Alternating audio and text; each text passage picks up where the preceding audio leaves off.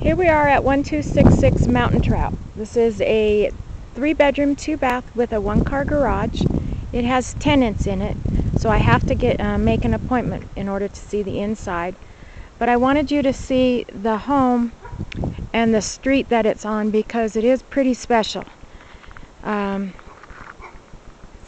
a very quiet street and on the uh, other side of the street is this meadow that is gorgeous with uh, mountains in the back. It should be super pretty and would be wonderful for snowshoeing or cross-country skiing. Has an empty lot to the left. This one is asking 225. This one might be a good one. Okay, thank you.